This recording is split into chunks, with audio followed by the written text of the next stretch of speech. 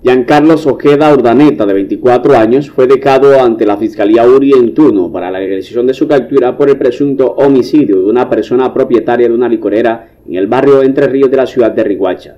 Ojeda Urdaneta está siendo vinculado por el presunto asesinato de Marco Antonio Tronconis Torres, de nacionalidad venezolana de 35 años, quien recibió 11 impactos de bala cuando se encontraba en su establecimiento de razón social La Nueva Era en la calle 27 con carrera séptima del barrio Entre Ríos de Riguacha.